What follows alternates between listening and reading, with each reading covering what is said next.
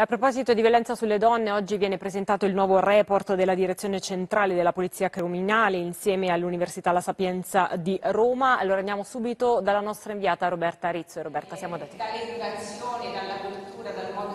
Sì, Nicola, il terzo report di questo lavoro prodotto dalle forze di polizia, interforze, anche, quindi anche i carabinieri. Dicevi il pregiudizio e la violenza contro le donne, questo è il titolo del rapporto presentato oggi in Campidoglio alla presenza del Ministro dell'Interno Matteo Piantedosi, capo della Polizia, anche Lamberto Giannini, il sindaco di Roma eh, Gualtieri e poi la rettrice della Sapienza eh, di Roma Antonella Polimeni che ha collaborato alla stesura di questi dati che riportano dall'inizio dell'anno fino a ieri 21 novembre 104 donne uccise, ma sono dati che poi paragonati all'anno precedente, soprattutto l'analisi che si fa sui primi nove mesi dell'anno del 2022 rispetto al 2021 sono in lieve eh, decrescita eh, i femminicidi, in pratica sono 82 anziché 90, 71 sono le donne uccise in ambito eh, familiare, 42 dei quali per mano dell'ex partner o del partner. È un dato molto interessante perché accostato invece poi alla crescita del lavoro di potenziamento per quanto riguarda la prevenzione ci dice che sempre nei primi nove mesi dell'anno l'ammonimento